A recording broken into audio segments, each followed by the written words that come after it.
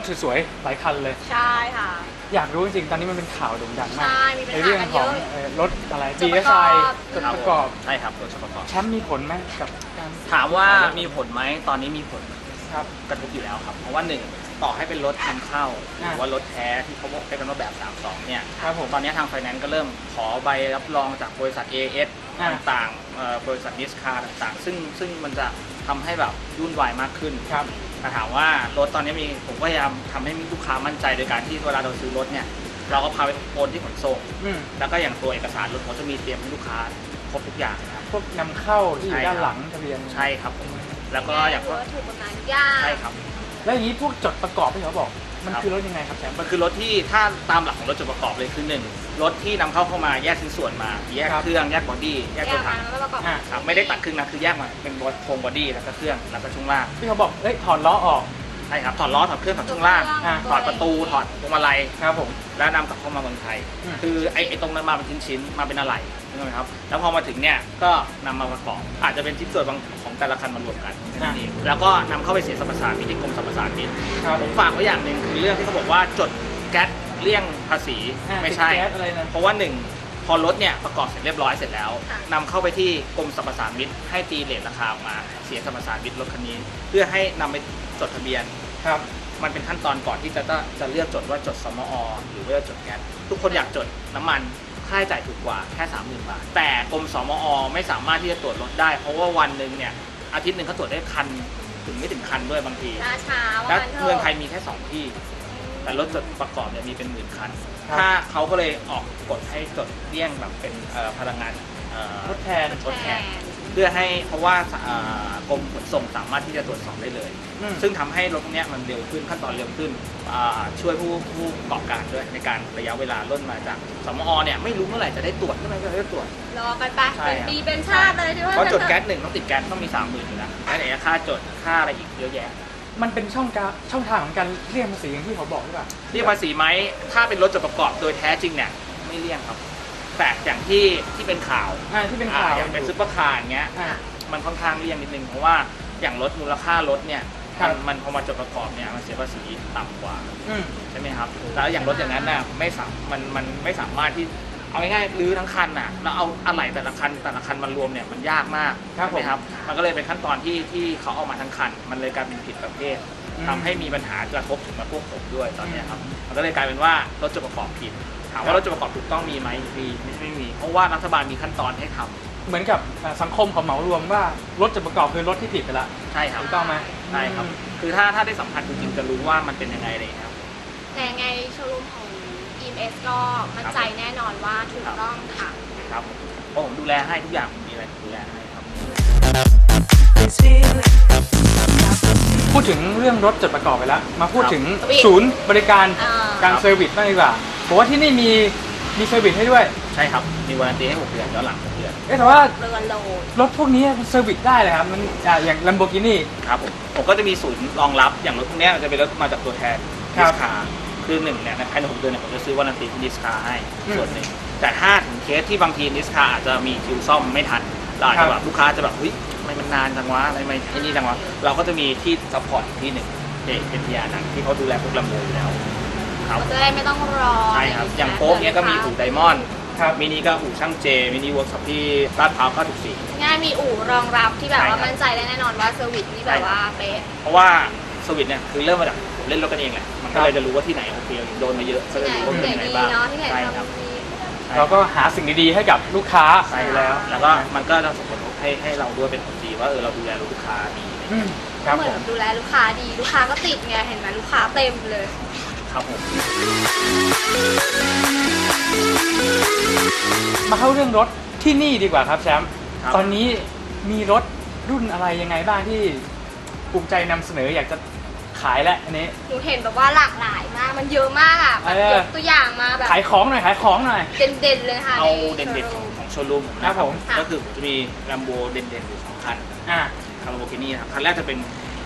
การาโดครับ ครับผม SE Limited Edition ครับมันจะเป็นอืมมีแค่ 250 คันในโลก คันของผมเนี่ยเป็นคันที่ 99 ของโลกไอ้ยาเลขสวยในเมืองไทยมีแค่สองคัน อ่ามีคันที่ 88 กับ 99ครับผมแล้วก็อีกส่วนอีกคันหนึ่งเป็นมูเซราโปครับเป็น 40 ปี anniversary ครับอืมนะครับเป็นคันเดียวในเมืองไทย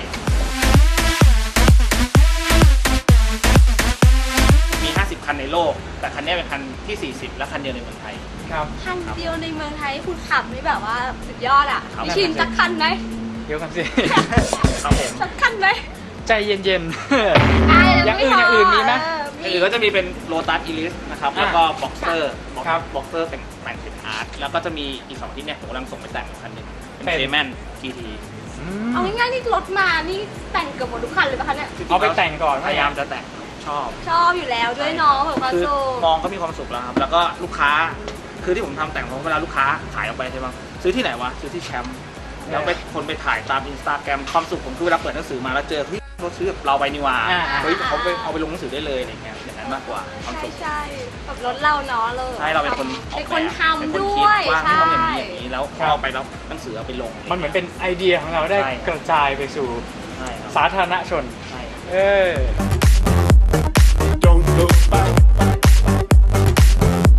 เวลาแล้วครับท่านผู้ชมครับที่เราจะต้องมาดู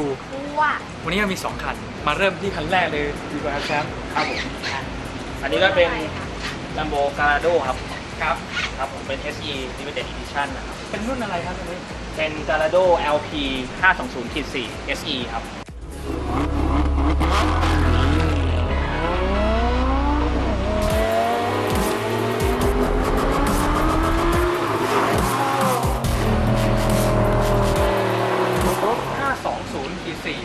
120 แรงม้าขับเครื่องสี่ล้อ อ๋อ นี่คือตัวเลขของเขาใช่ครับ แล้วก็มันจะมีความพิเศษคือมันจะเป็นหลังคาดำหูดโอ้อันนี้คือเดิมๆเดิมเดิมเลยครับใช่ไหมคะเนลเลยครับมีมีเปลี่ยนแม็กอย่างเดียว เป็นแม็กมาด้วยนะครับ แล้วก็ภายในจะเป็นสีเดียวกับตัวรถ อุ้ยสวยอะ ข้างในเราเพิ่งเห็นแบบส้มดำเก๋กูดอุ้ยสวยมาก ความพิเศษคันนี้คือมันจะเป็นตัว limited มี 250 คันในโลกครับ คันนี้เป็นคันที่ 99 เลขสวยอีกต่างหากไม่มันพอมีตัวเลขอะไรบอกไหมอยู่ตรงนี้เลยครับ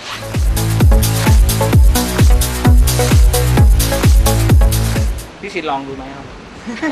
เห็นกำลังเซียนอยู่เออเซียนครับเซียน เท่าไหร่คะเนี่ยคันนี้ 13ล้าน9แสนครับ โอ้ยราคากำลังสวยเลยนะคุณชินครับผมวางเช็คเลยไหมเขียนเลยเขียนเลย ใจเย็นสิเอาแลกครับ แลกกับแฝด